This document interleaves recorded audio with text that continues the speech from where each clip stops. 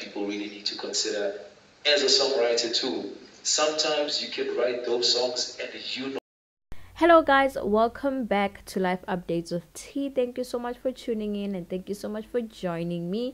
If you are new here, we are the winning family, the moving train. So, if you would like to become a member of our family, you can just simply hit the subscribe button and also don't forget to turn on the notification bell so you know whenever we get to post a new video. So, guys, I am back with another update. Mm, you know what? Today, Vyno was kind of like um, um, having sharing his knowledge in terms of songwriting at a YouTube Black event which was happening today, and apparently a lot. Um, he actually said a lot about songwriting and all that stuff, and it appears that alleg- allegedly, sorry, allegedly he's been writing songs for a lot of artists. Like he calls, like they call him a ghost writer. So basically, he writes the song. He maybe he writes the songs and then he sells them, you know, to the to the artists or to the people who are supposed to be singing the song and all of that. Apparently, most of the songs that we have been dancing to are written by him. Like, it's so crazy, right? It's so crazy. I just want to find out which songs are this. Like, which songs did he write? Apparently, he wrote like a lot of them, and we've been dancing to most of the songs that were written about Vyno. But anyways, um, all I can say that he is a talented man after all. I think he is actually a talented man. I mean, only a talented man would do that. You know, only a talent like only a talented man would sell. I mean, um, uh, lyrics and stuff like that. So yeah, he is actually a very talented man. Now let's move on to the next topic. Terry Treasure is a spoiled hand, okay? And the way she's looking good, the skin, she looks amazing. She's a spoiled hand. So like she posted on uh her, her stories on Instagram um while she was, you know, traveling. They actually took them to a trip in uh, northwest i'm not sure about where uh, this place is located um exactly. I'm not really familiar with uh, Northwest, so obviously I, I wouldn't know. But uh, it seems like there's something going on there because she's not the only one who actually went there, and uh, the trip seems to be like seem to be very nice because like everybody's just there and they seem to be connecting, and this is what she said on her Instagram on on her Instagram page. She said day one of three got the opportunity to be touring Northwest with a few of the coolest people. Te- I mean, um, I was about to say Themba, no, Mbalinkosi is one of the Mbalinkosi is one of the Big Brother ex housemates from I think it's season two, if not season one. I don't even remember properly.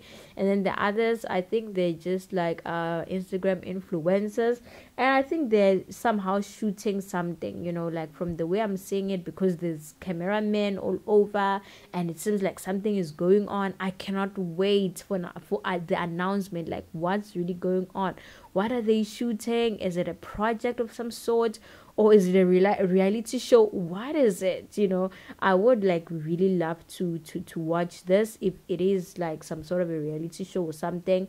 But yeah, I'm really proud of her. I mean, guys, you all know we're all about supporting over here. We're all about uplifting. So whatever small or big, you know, achievement or move, it's it's a great move definitely. So I, I was just you know happy to see her with the the other ladies and the guy over there you know doing what they were doing. And i was just like i cannot wait for more content you know and stuff like that.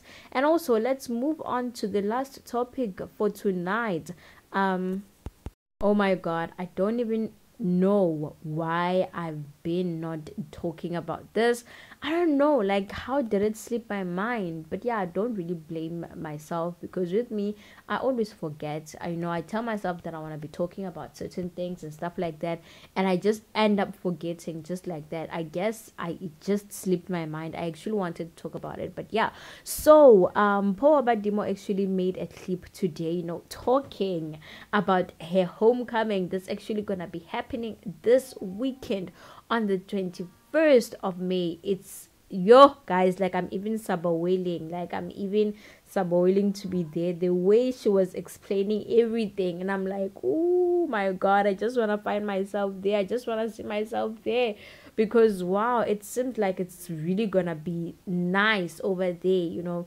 Really gonna be nice. You can actually go check out the details on her instagram stories. She posted everything there. And also she's not the only person who's actually gonna be there. Other housemates will be definitely joining her. I think Ntabi will be there um uh, sis tamara Themba who else? Who else? Okay i don't remember. That's what i'm saying that you can do check out the details over there about the location the venue and everything. So it's really it seems like that like it's gonna really be it's really gonna go Whew, guys, it seems like it's really gonna get down over there. So please do make sure that if you are in Daveyton, even if you're not in Daveyton, if you are at somewhere around like the neighborhood, even if you're not somewhere close by, guys. I mean, if you wanna attend, if you're serious about attending, just make sure you know you go support the girl over there at Daveyton. I'm sure it's really gonna be a nice event, and also I'm really curious because um actually someone asked um Mpho a question earlier. Yes, is it yesterday or today? Let me look for the question. Oh, actually, it was yesterday when she had uh, an Instagram post. Like all of those housemates, all of a sudden, all of them are answering questions. What's happening?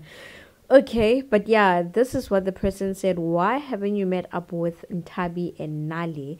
And her response was um, i was with my girl yesterday.